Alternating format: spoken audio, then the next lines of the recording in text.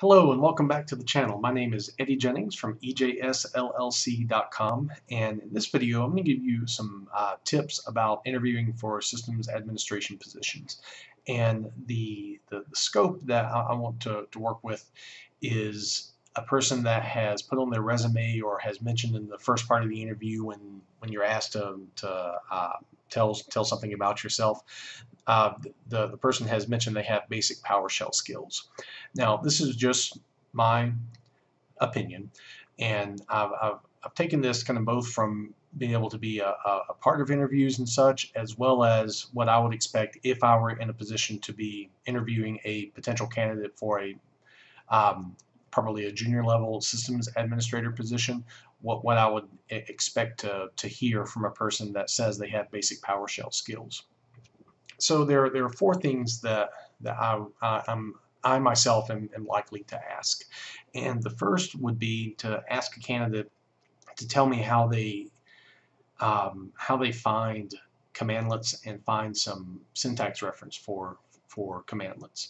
Now, what, what I'm what I'm expecting to hear is for them to mention things such as get command and and get help.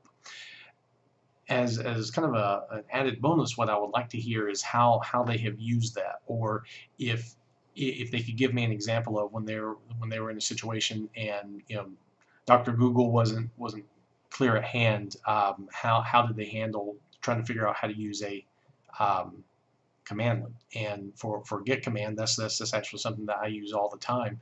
If I can remember part of a name of a commandlet, I can do get dash command and you know star part of the name, let's say like DNS, then star, and it'll list me all the commandlets and functions and such that have DNS in the name. And then for get help, if they could describe to me the fact that you can do uh, get help and use some parameters like detailed or full or, or examples, and get help will show you the commandlet syntax and give you examples of usage of, of that commandlet that that would, would, would, would be helpful. Now, if a candidate were to tell me, you know, I, I use Google to find out about commands, that's not necessarily wrong. I, I would I, I would be I would have issues if a, if a candidate told me that, well, I don't know, I, I have no idea how, how to find out about commandlets in PowerShell. Well, that's that's a bit of a problem if you say you have basic PowerShell skills because I would, in my opinion, a basic skill is be able to figure out how to use PowerShell and what what uh, what resources you, you would have available to you.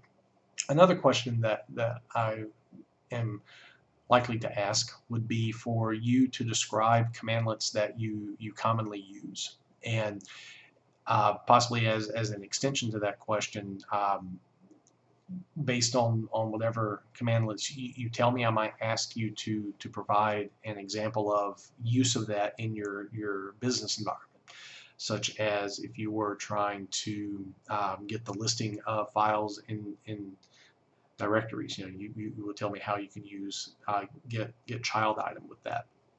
And there's no real right or wrong answer with this other than not be able to tell me about any commandlets that, that, that you've used because I, I, I, would assume a person that says they have basic PowerShell skills either at least in the lab environment or, or at work you've, you've made some some use of PowerShell.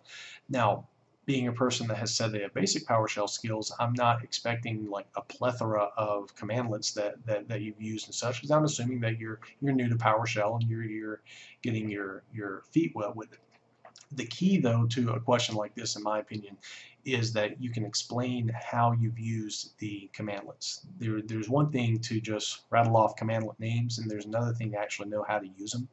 And I, I can't quite tell exactly how how I know, but I've, I've been a part of some interviews before where the, these kind of questions have come up, and you know we've asked a, a candidate to um, to describe how, how they've used PowerShell and they rattle off things and it's clear that they're just kind of rattling off a list of things that they know are in PowerShell but they have no idea how to actually use them. And for me it would be much more useful and, and telling of a candidate if they can tell me how they actually use the tools because in the real world in systems administration you are using the tools. You're not just saying what you would use you're actually you know doing doing work and such Another thing I would expect um, from a basic PowerShell user is to be able to explain to me um, what makes objects objects and how that's different than than text.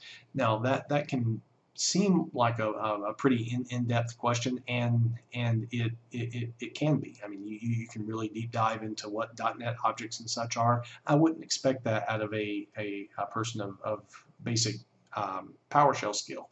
I, I like to think I have a little bit uh, beyond basic PowerShell skill and I can't really deep dive very much into objects. I know about properties and methods and such you have on objects but if a candidate that says they have basic PowerShell skills can explain to me that if the output is text, it is literally just what you're seeing on the screen. If an output's an object, you'll see something, but that something is going to have properties to it.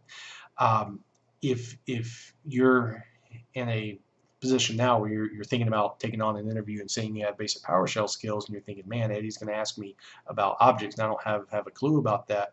Uh, a great example to, to learn about objects from is the get child item commandlet.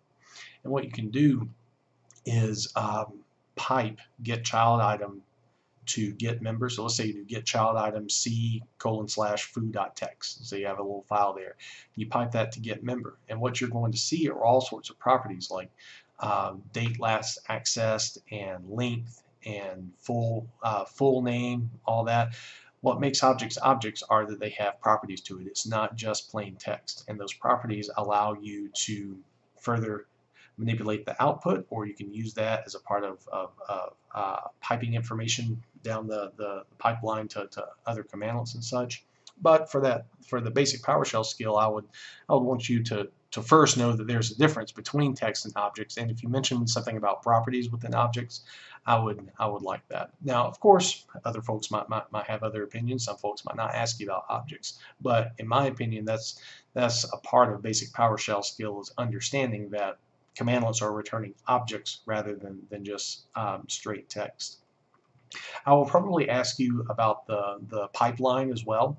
Now I can I can entirely see a an absolute beginner to PowerShell not knowing how to, to use the, the pipeline. And, and in my opinion, depending on what system administration position you're applying for, if you're looking for like a senior sysadmin position in a Windows environment and you don't know what the pipeline is, that's a problem. If you're looking for a junior position and you're like, hey, I've, I have some basic PowerShell skills, I've started getting my feet wet with it, you know, I, I might not expect to know everything there is to know about the pipeline.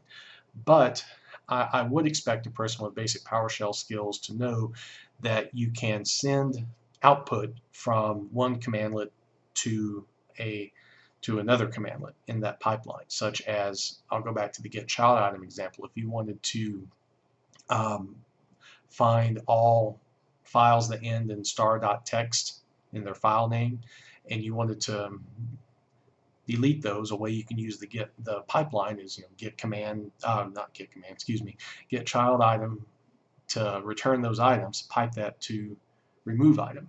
That's an example of using the pipeline. And I would think a person with basic PowerShell skills should understand, at, at least at that, that basic level, you know, how the pipeline works. Or like using um, get service and piping that to start service. That, that, that kind of thing. I wouldn't necessarily expect a person in the pipeline, uh, a person that's new to PowerShell to be able to talk to talk to me about where object and, and such. If you can, great bonus points. I'd say, hey, perhaps this person is being a little bit modest about their their PowerShell skills, but it, it, at least know know what it is. The one, one, one of the other things that I would ask, and I'm, I'm only going to go over just, just a few things here. There, there's a plethora of things to ask, but I think th th this is something that, that might throw uh, some um, young administrators especially for loop. And that's asking the question of should you run a script or um, or a, a, a one-liner as we call it you know commands going to the pipeline on and on and on. Should you run something like that that you find just from somewhere on on the internet should you run that in production? And the correct answer in my opinion in my opinion to that is it depends. Because if if I had a, a candidate tell me, sure, I'd, I would just, you know, hey, I copied from the internet, run it, it should be fine. Well, I would consider that person either pretty short-sighted about um, about how you should treat production, or maybe this person hasn't ever dealt in a production environment and they just don't know that that's a very dangerous thing to do is just run something and not know anything about it. On the other hand, if I have a person that would say I, I would never run anything straight from the internet, I might um, ask why as a follow-up question to that because I, I'm, I would be curious to see if this person simply doesn't trust any other resources or if they're a person that uh, I've, I've, I've, stumbled upon someone that knows everything and they, they write all, all, all of, of, of their stuff themselves. Um, if, if I have a person that's not willing to consult other resources, I personally would have some concerns about that because it's not possible for a system administrator to know everything there is to know.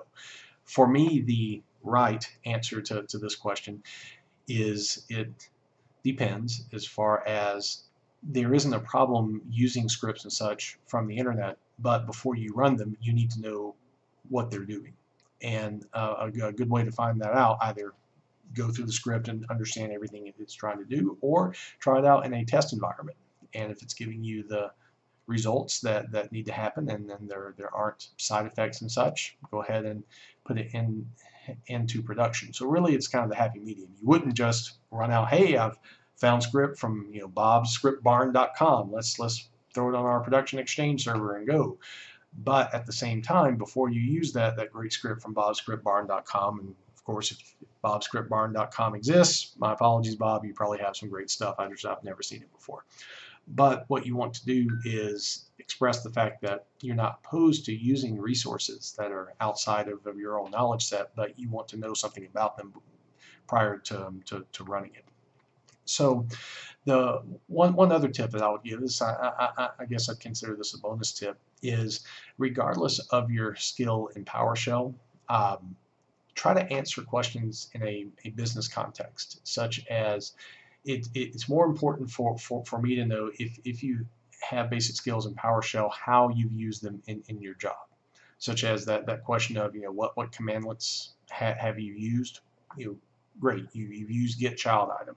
How have you used that? What what has been the what have been scenarios that that um, that you've been a part of that that needed to have that commandlet run and such. So I hope that, that this is uh, helpful for you if you are uh, looking to do some interviews for some systems administration positions and you you claim that, that you have basic PowerShell skills. This is of course just just just um, my opinion about things, but hopefully th th this will give you an idea of some potential things that, that you would be asked in an interview and get an idea of, of kind of what, what, what feedback the the interviewer is, is looking for with, with these types of questions. As always, thank you for taking the time to watch. Make sure you subscribe to the channel and also if you know any IT professionals and such that that would be that would find this video useful feel feel free to share it with them and I'll see you the next time